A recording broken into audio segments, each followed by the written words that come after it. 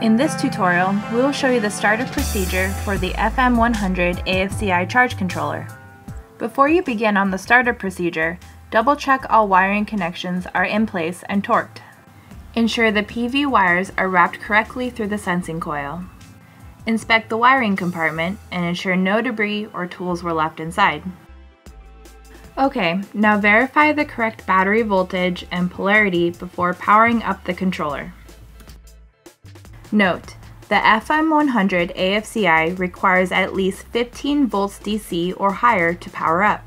Once the proper voltage and polarity are confirmed, turn on the battery output breaker.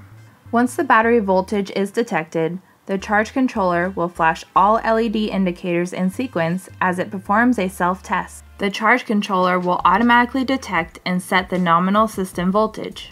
The blue charging indicator will flash to show the nominal system voltage that was detected. Each flash indicates an increment of 12 volts. Two flashes equal 24 volts DC, and four flashes equal 48 volts DC.